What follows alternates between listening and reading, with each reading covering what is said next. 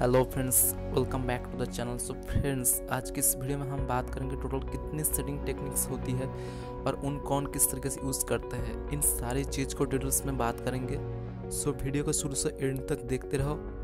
So let start the video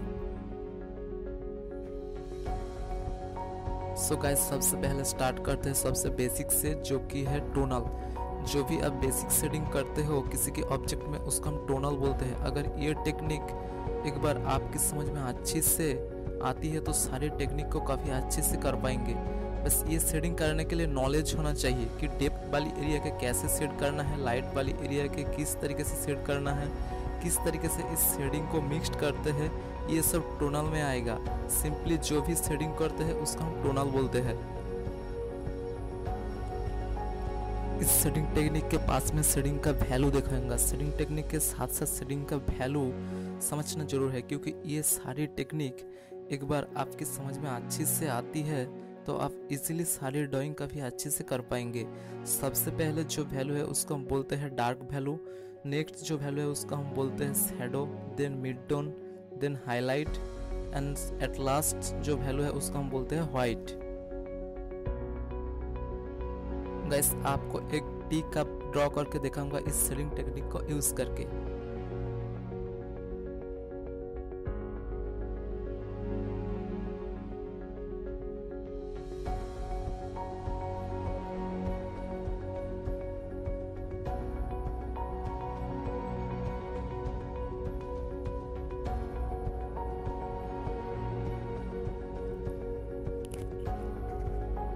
सो हमारी first shading technique खत्म चुका है। So next technique is smudging जिसको हम ब्लेंडिंग भी बोलते हैं, जो कि स्मूथ टेक्सचर आने के लिए करते हैं। इसलिए मेरे शेडिंग टेक्निक अच्छे से होना चाहिए। पहले शेडिंग करेंगे देन कोई भी टूल यूज़ करके उसको ब्लेंड कर देंगे। मैं ब्लेंडिंग पेपर स्टैम्प यूज़ करता हूँ ब्लेंड करने के लिए।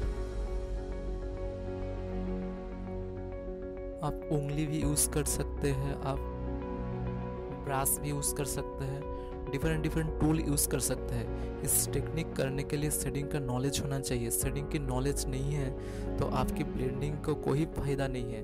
ब्लेंडिंग हम basically smooth and realistic texture आने के लिए यूज़ करता हूँ। सेम उसको पास में डार्क तक लाइट वैल्यू दिखाएँगे। Black shadow mid tone highlight and white इस टेक्निक यूज़ करके एक ट्री का ड्रॉ करके दिखाऊँगा एंड उसको ऊपर ब्लेंड करके दिखता हूँ।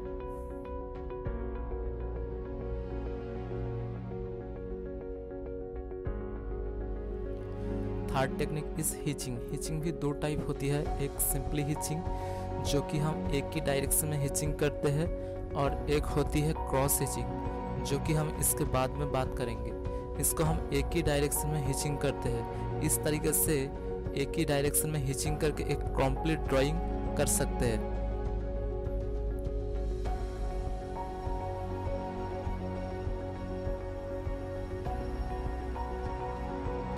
देन इस टेक्निक के पास में डार्क तक लाइट वैल्यू दिखाएँगे। जिस जगह डार्क है, उस जगह के लिए डार्क ही पेंसिल यूज़ करते हैं। लाइट वाली एरिया के लिए कोई भी लाइट वाली पेंसिल यूज़ करते हैं, ऐसा like to V, H V.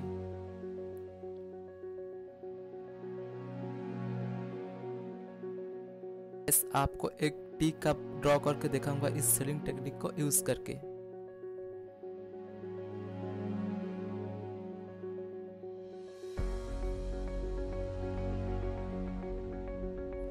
Next ही हमारी क्रॉस स्टिचिंग सेम वैसे जिसको हम पहले से करके दिखाए बस उसको हम डिफरेंट डिफरेंट डायरेक्शन में स्ट्रोक को लगा सकते हैं।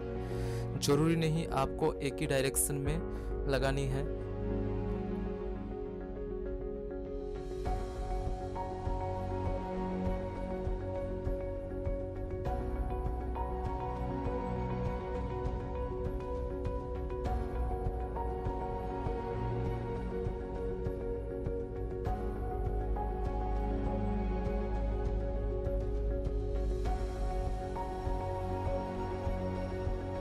क्रॉसिंग के पास में उसका वैल्यू दिखाएँगे।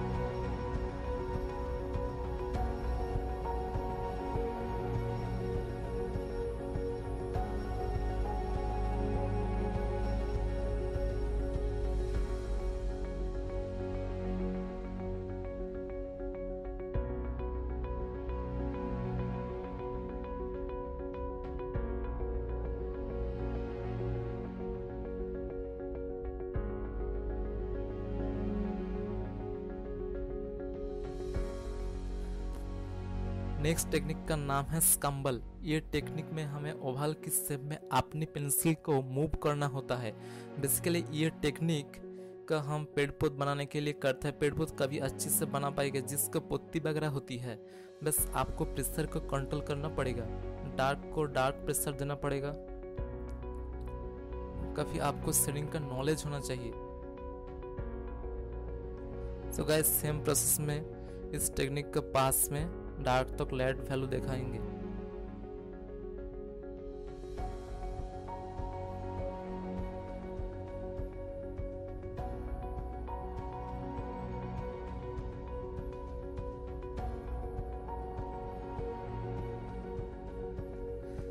So last technique is stipple जो कि हम डॉट डॉट डायरेक्शन में बनाता है। बेसिकली ये टेक्निक आजकल ज़्यादा पॉपुलर हो रही है। इससे सिंपली हम डॉट लगाएँगे।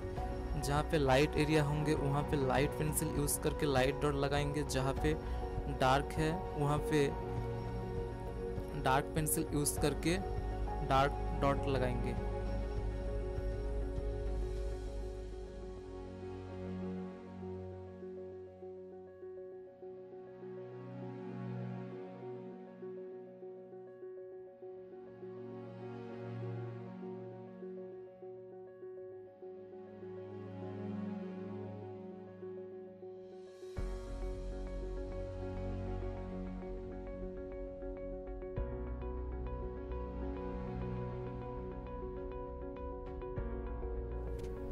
सो गाइस कैसा लगा इस वीडियो? आपकी इस वीडियो पसंद आए तो लाइक करो कमेंट करो, ज़्यादा से ज़्यादा शेयर करो।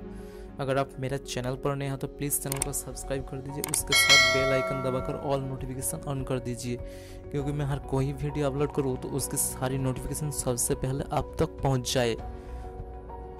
और आपका कोई सवाल है तो मेरे कमेंट बॉक्स से पूछ सकते हैं। ठीक है, आज तक मैं आपके लिए बहुत जल्दी नेक्स्ट वीडियो लेकर आ रहा हूँ। स्टे सेफ़ स्टे हम तब तक के लिए बाय बाय